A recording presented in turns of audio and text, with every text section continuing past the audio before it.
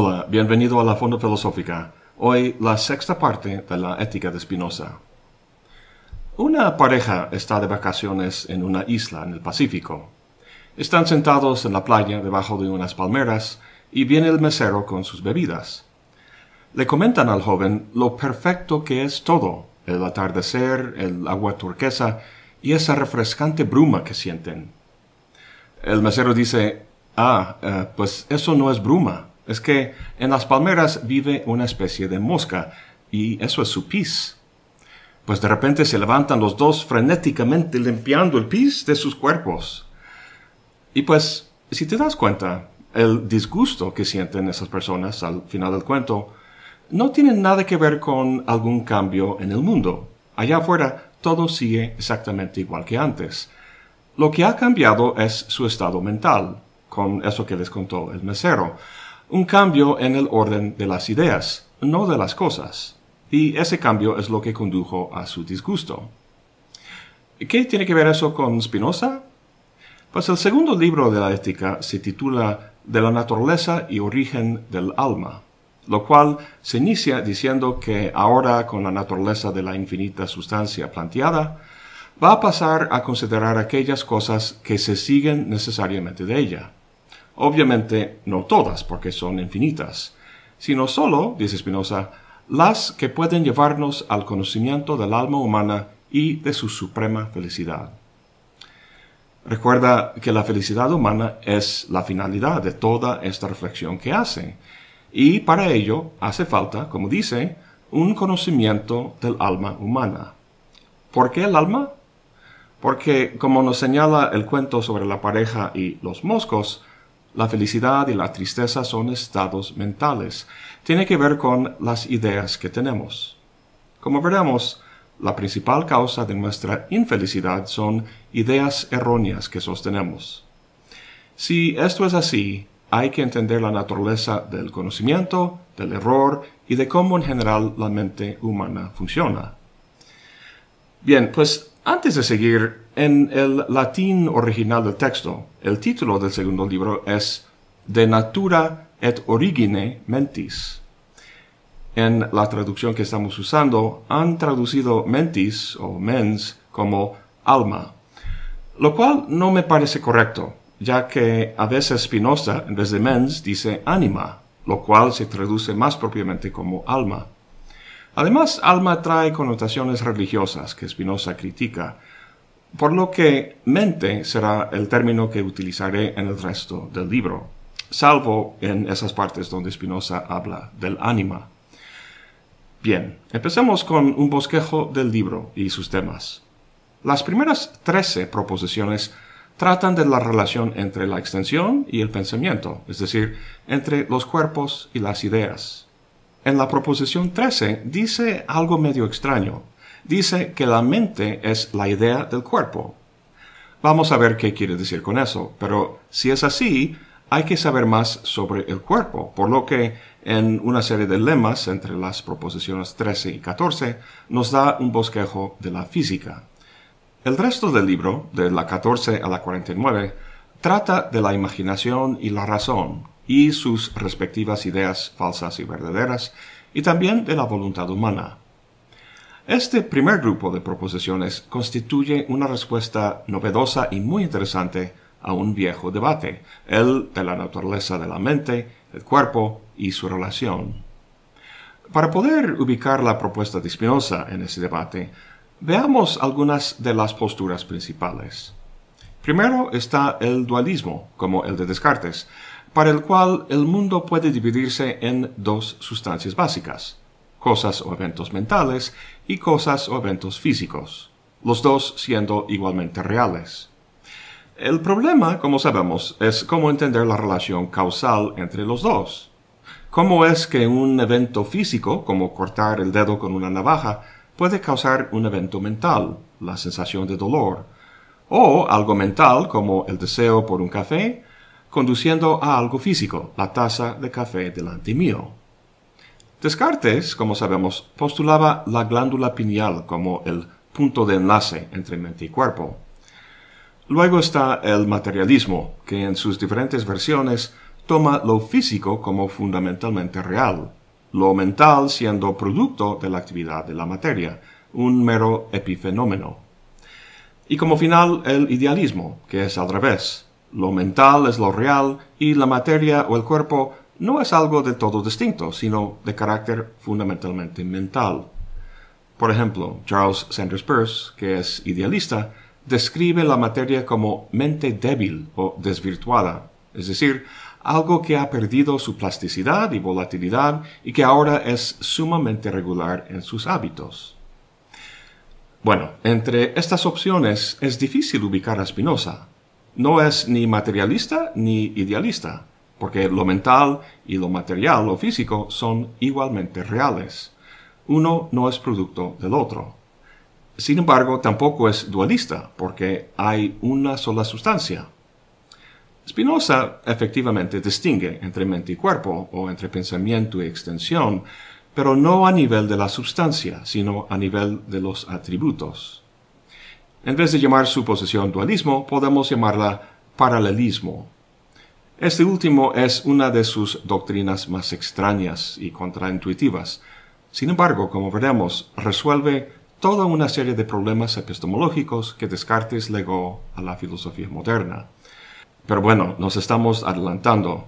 Lo primero es lo primero, y en el caso de Spinoza, lo primero son definiciones. Ya sabemos que cada libro empieza con definiciones y axiomas en los que el argumento posterior se apoya. Para arrancar el argumento del segundo libro, vamos a leer de momento solo dos definiciones, la de cuerpo y la de idea. La definición 1 dice, Entiendo por cuerpo un modo que expresa de cierta y determinada manera la esencia de Dios, en cuanto se la considera como una cosa extensa. Esto no debe causarnos ningún problema. Dios, la infinita sustancia, visto o tomado bajo el atributo de la extensión, se expresa en los modos que son cuerpos finitos. La definición 3 define idea, y aquí las cosas se tornan interesantes. Dice, entiendo por idea un concepto de la mente, que la mente forma por ser una cosa pensante. En su explicación de la definición dice, digo concepto más bien que percepción, porque la palabra percepción parece indicar que la mente padece por obra del objeto. En cambio, concepto parece expresar una acción de la mente. Hay tres cosas interesantes aquí. Primero, tras toda nuestra discusión de la relación mente y cuerpo, esperaríamos razonablemente que Spinoza definiera esos dos términos. Bueno, cuerpo sí lo define, y tal como esperaríamos, como un modo finito que expresa la infinita sustancia bajo el atributo de la extensión. Si tomas un paseo por la ciudad, toda persona, árbol, bicicleta y edificio que ves es una parte de Dios, uno de la infinitud de modos finitos a través de los cuales Dios se expresa bajo el atributo de la extensión. Hasta ahí bien, pero a continuación vemos que lo que define no es mente, como esperábamos, sino idea. En términos muy generales, idea y mente son sinónimos. Sin embargo, hay una diferencia y una buena razón por la que usa idea aquí en vez de mente. Pero vamos a esperar tantito para tratarlo. Bueno, dije que hay tres cosas interesantes. Esa es la primera, que define idea en vez de mente. La segunda cosa es cómo define idea. Por un lado, la idea es el correlato del cuerpo, es decir, la idea, es en el mundo del pensamiento lo que el cuerpo es en el mundo de la extensión, a saber, el modo finito a través del cual Dios se expresa.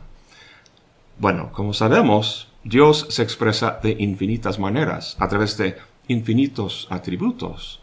Pero como humanos, los únicos atributos que captamos son el pensamiento y la extensión. Y lo que concretamente captamos son ideas y cuerpos. Lo interesante de la definición es que no define idea como un modo finito, tal como define cuerpo. Volvamos a la definición de cuerpo. Dice, entiendo por cuerpo un modo que expresa la esencia de Dios, en tanto Dios sea una cosa extensa. La idea, en cambio, no lo define como un modo. No dice, Entiendo por idea un modo que expresa la esencia de Dios en tanto sea una cosa pensante. Lo que dice es, entiendo por idea un concepto de la mente que la mente forma por ser una cosa pensante. ¿Por qué lo define así? Pues seguramente has leído esa definición como un cartesiano. Piensas en ti, en tu mente, y la capacidad que tienes de formar ideas. Estamos ahora discutiendo la ética y formando muchas ideas al respecto, ¿no? En sentido estricto, no. Spinoza no hace referencia aquí a tu mente o la mía. Dice que la mente forma una idea porque es una cosa pensante. En la definición de cuerpo se refiere a Dios como una cosa extensa. Los cuerpos son simplemente modos o modificaciones de Dios como cosa extensa. Y aquí habla de Dios como una cosa pensante, por lo que las ideas serían modos o modificaciones de Dios como pensante. En pocas palabras, lo que está formando la idea no somos tú ni yo, sino Dios. Extraño, ¿no? Que tus ideas realmente sean las de Dios. Pues no tanto. Imagínate que un granito saliera en tu nariz. ¿Lo habrás producido tú intencionalmente? Pues no, salió como proceso natural del cuerpo. Y ampliando un poco la escala, nuestro propio cuerpo ha emergido, como el del árbol y otros cuerpos, como una modulación o modo particular del infinito continuo material que es Dios, bajo el aspecto de la extensión. Nosotros no producimos intencionalmente nuestro cuerpo, por lo que nos resulta más fácil entender y aceptar lo que dice Spinoza al respecto. Pero nos parece que sí producimos nuestras ideas.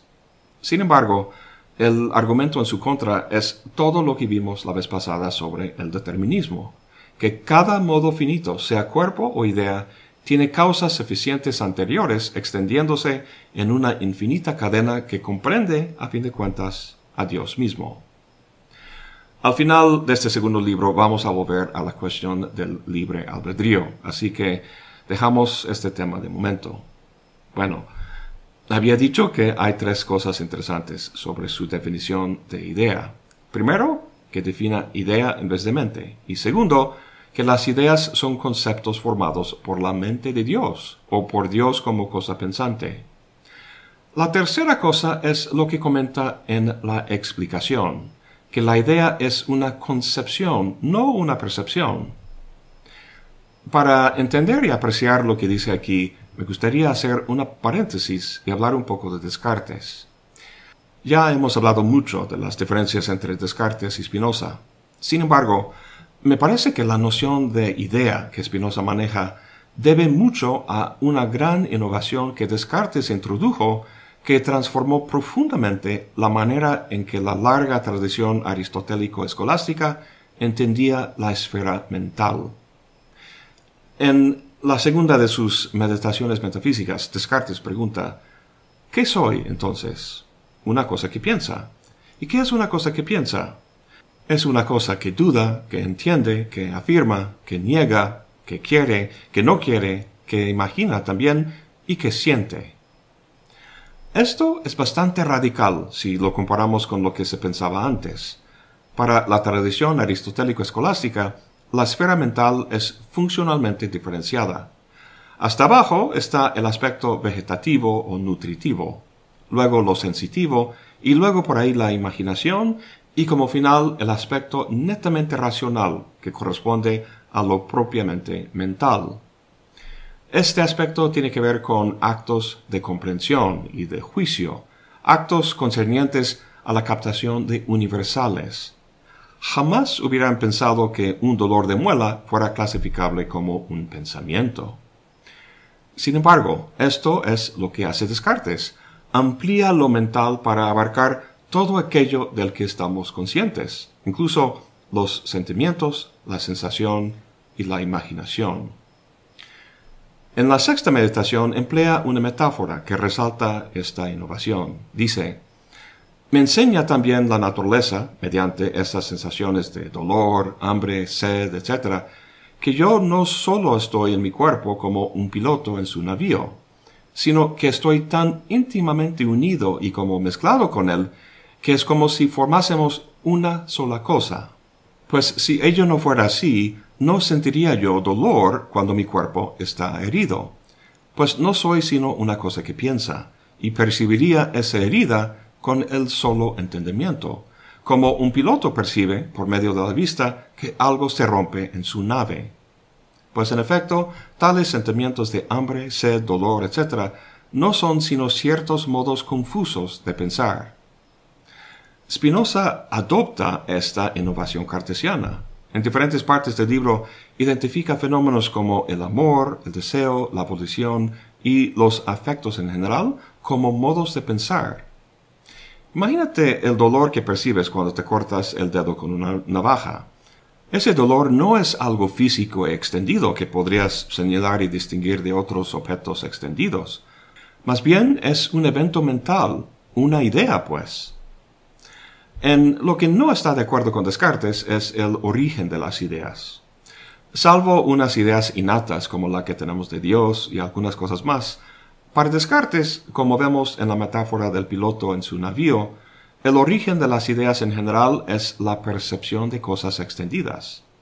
Incluso cuando el piloto tiene una comprensión solo intelectual de lo que está pasando en el barco, las ideas que constituyen su comprensión dependen de la vista, de la percepción de lo que está sucediendo. Spinoza rechaza este modelo por completo. Volviendo a la definición de idea, recuerda que dice, entiendo por idea un concepto de la mente, que la mente forma por ser una cosa pensante. La idea no está producida pasivamente por la acción de una cosa exterior extendida, como Descartes, sino directamente por la actividad de la mente. Y como comentamos antes, se trata a fin de cuentas de la mente de Dios. Este último nos resulta bastante extraño, pero también que las ideas se produzcan sin relación con los objetos de los que son ideas, sino solo a través de la pura concepción. Nuestra experiencia nos dice que cortarse el dedo con una navaja es la causa del evento mental de la sensación de dolor, y viceversa, que el evento mental de desear una taza de café, por ejemplo, es la causa del evento físico de hacer una taza de café. Spinoza rechaza este tipo de explicación. Lo que vemos aquí es una primera indicación de su doctrina del paralelismo, que las causas eficientes anteriores de las ideas son otras ideas, no cosas físicas, y las de los cuerpos son otros cuerpos. Pero pronto llegaremos a ello. Uy, veo que llevamos la mitad del video hablando de solo dos definiciones. Ya es hora de pasar a las proposiciones. Las primeras dos las vamos a saltar.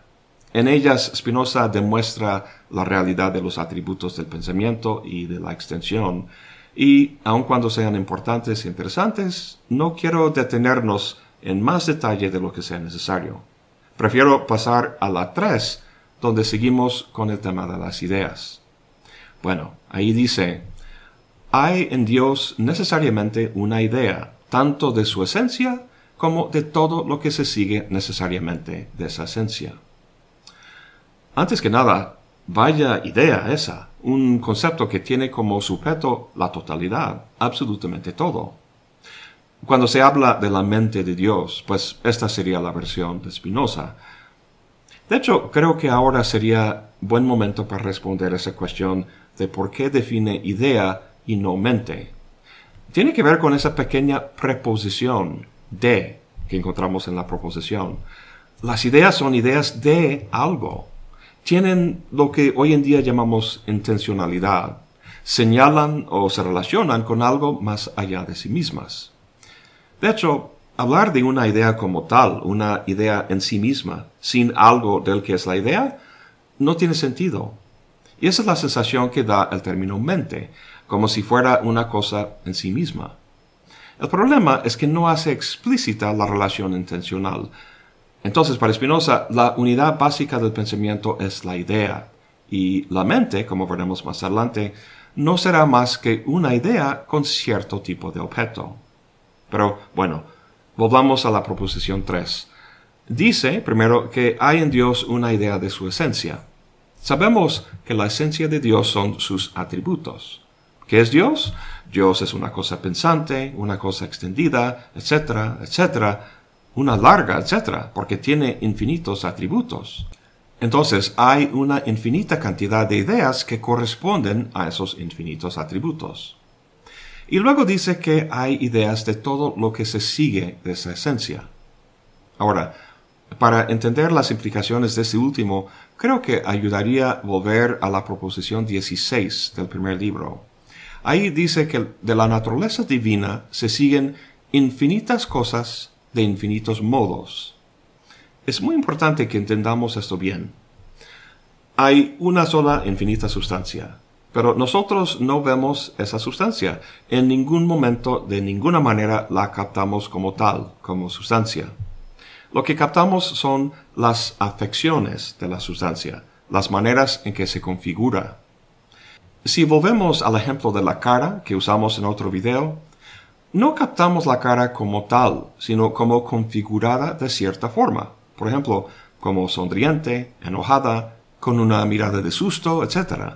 Entonces, cuando vemos a nuestro alrededor y vemos árboles, casas, personas, etc., estamos viendo o captando solo algunas de las infinitas configuraciones de la sustancia. Ahora, cuando Spinoza dice que de la naturaleza divina se siguen infinitas cosas, se refiere a esas configuraciones o afecciones. Pero dice que se siguen infinitas cosas de infinitos modos. ¿Qué quiere decir con eso? Pues una de las cosas o configuraciones de la infinita sustancia es lo que llamamos árbol pero tenemos que referirnos a él por medio de uno de los atributos. El más común es el de la extensión. Nos referimos al árbol tratándolo o captándolo como esa cosa extendida de la experiencia común. Pero esa no es la única manera de tratarlo.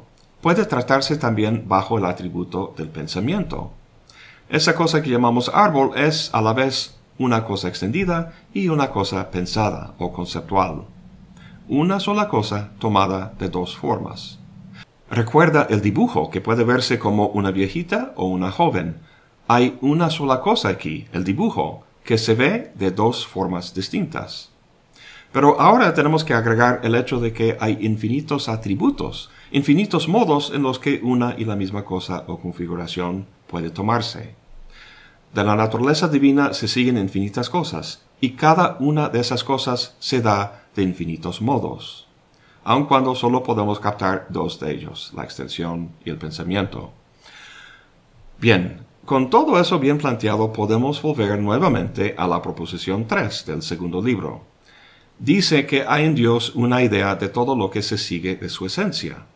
Ya habiendo visto todo lo que se sigue de Dios, ¿qué significa que hay una idea de todo eso? Si representáramos esas infinitas cosas con los números 1, 2, 3 y 4, pareciera que significa que hay una idea de 1, de 2, de 3 y de 4. Esas cuatro ideas serían los modos de Dios, de la infinita sustancia, bajo el atributo del pensamiento. Pero además, bajo el atributo de la extensión, habría cuatro cuerpos. Recuerda, cada número en nuestro ejemplo es una y la misma cosa, manifestándose como idea y como cuerpo extendido. Y sabiendo que hay infinitos atributos, esas cuatro cosas tendrían sus respectivos modos bajo cada uno de esos atributos. Parece que eso es lo que Spinoza dice, pero no es así. Es de hecho mucho más complicado. Para simplificar las cosas, Tomemos solo una de esas cosas, la que corresponde al número uno. En nuestra interpretación anterior dijimos que hay una idea de cosa uno, pero eso no puede ser. La cosa no nos aparece como tal, sino siempre bajo algún atributo. Entonces, lo que quiere decir Spinoza cuando habla de una idea de todo lo que se sigue de Dios, es que hay una idea de cosa uno bajo el atributo de la extensión, o sea, una idea del cuerpo uno, pero también ideas correspondientes a los modos de uno bajo todos los demás atributos. Lo que vemos aquí es que el carácter intencional de la idea hace que el atributo del pensamiento se distinga marcadamente de los demás atributos. Con respecto a cualquiera de las infinitas cosas que se siguen de la naturaleza divina, le corresponde un solo modo bajo cada uno de los atributos, pero el atributo del pensamiento cuenta con infinitamente más modos que cualquier otro atributo, dado que todos los modos de los demás atributos se replican en el pensamiento. Y si eso fuera poco, también hay ideas de ideas. Si tomamos la idea del cuerpo 1, hay una idea de la idea del cuerpo 1, y así sucesivamente en una dinámica recursiva bastante alocada. Bueno, no hemos avanzado mucho en este segundo libro, sin embargo, haber visto con detenimiento la noción de idea en Spinoza, sus relaciones con el mismo concepto en Descartes y sus características básicas, pues creo que ha valido la pena, porque va a formar la base de todo lo que viene. En el próximo video veremos cómo Spinoza desarrolla lo que vimos hoy en la proposición 3, en su famosa doctrina del paralelismo, y luego su concepción de la mente humana como una idea cuyo objeto es el cuerpo. Eso es todo por hoy. Gracias por acompañarme.